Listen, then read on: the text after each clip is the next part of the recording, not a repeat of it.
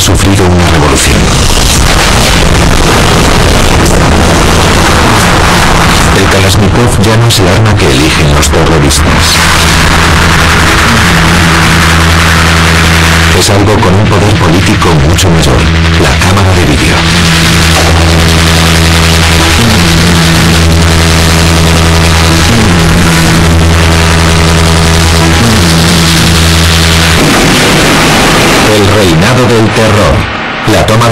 Y los medios.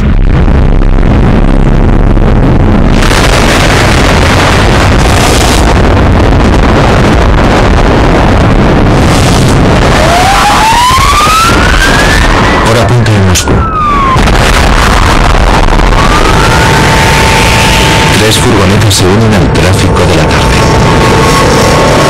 Su destino es Dubrovka, un barrio residencial en el corazón de la ciudad.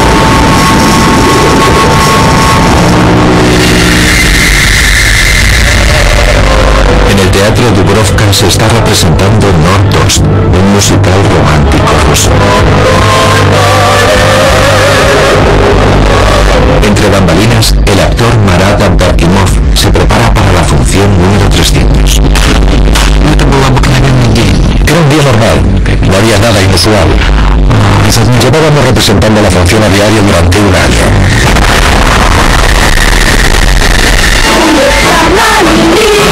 Entre los músicos de la orquesta se encuentran los violinistas Ekaterina Sosabova y su marido Igor.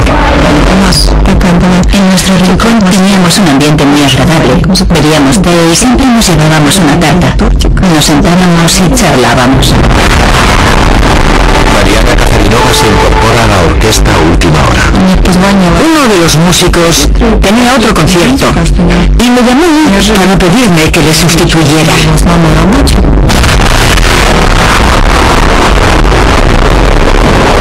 Función de esta noche cuenta con más de 800 espectadores. Entre ellos se encuentran Tamara Starkova, su hija Laisa y su marido Sasha. Era la segunda vez que mi marido y yo íbamos juntos al teatro. Era una noche especial.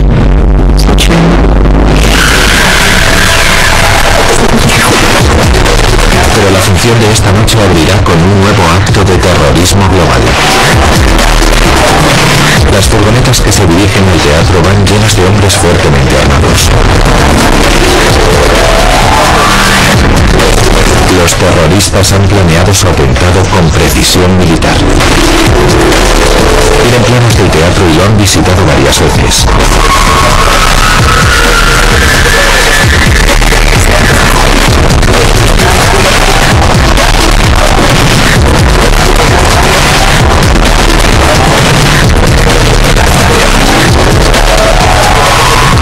Tres furgonetas llegan al Dubrovka al principio del segundo acto.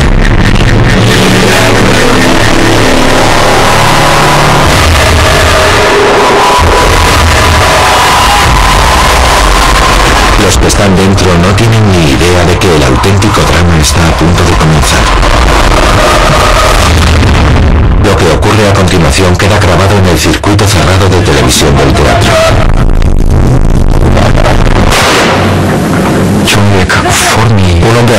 subió al escenario, gritó alto, alto, alto y, y empezó a disparar su ametralladora al aire.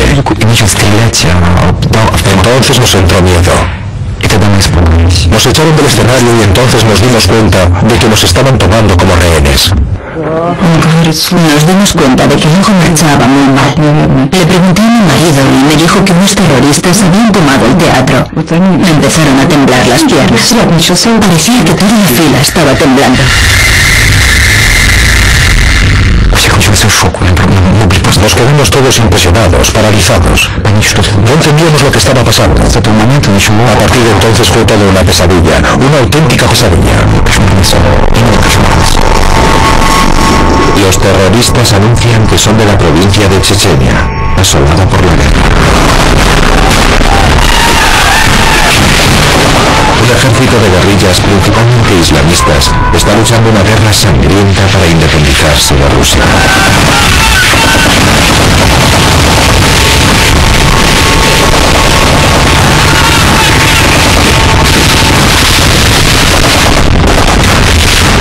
Una guerra plagada de atrocidades y matanzas en ambos bandos.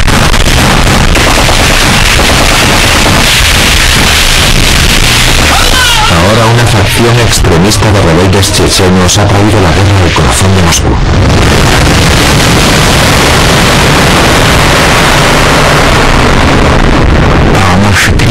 Nos dijeron que deberíamos prepararnos para morir, porque ellos también estaban dispuestos a morir. Los terroristas van armados con docenas de granadas, ametralladoras, pistolas y 3.000 cargadores de munición. Colocan guardias armados en los pasillos y puertas que rodean el auditorio.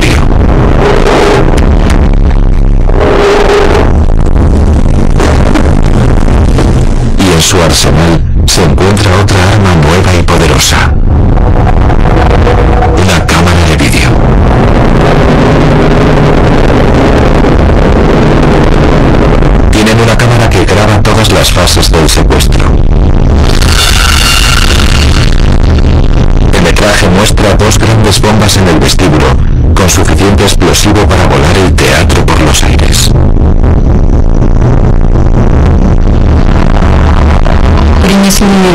Trajeron dos bombas de 50 kilos cada una y colocaron una arriba y otra abajo. Nadie se atrevió a hacer nada, porque nos dijeron que si intentábamos algo, lo volarían todo, inmediatamente. La cámara también capta el impactante nuevo rostro del terrorismo. Entre los 41 terroristas chechenos hay 19 mujeres enmascaradas. Van forradas de explosivos plásticos. Y las bombas están rellenas de metralla diseñadas para bullir y matar. Todas las chechenas llevaban un cinturón de bombas suicidas. Estaban a mi lado y no paraban de añadir nuevas bombas a sus cinturones con cinta adhesiva. Y como todavía puedo oír el sonido que viene a pegarse las bombas al cuerpo, me sigue provocando escalofríos.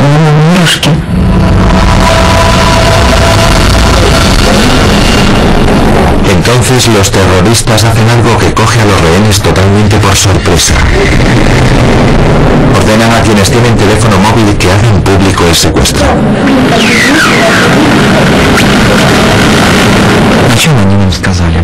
Dijeron que llamásemos de inmediato a nuestras familias para advertirles de la situación y contarles que se había producido el secuestro. Al principio la gente no les hizo caso y llamó a la policía. Se creyeron que era broma. Los rehenes contactan con emisoras de radio y televisión y cuentan al mundo que el teatro ha sufrido un secuestro.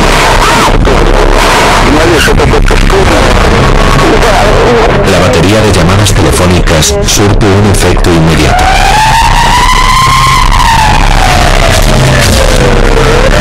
El ejército ruso acordona la zona y los medios de comunicación acuden en masa.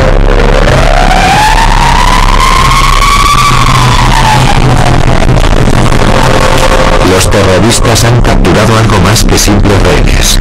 Han secuestrado a la prensa internacional.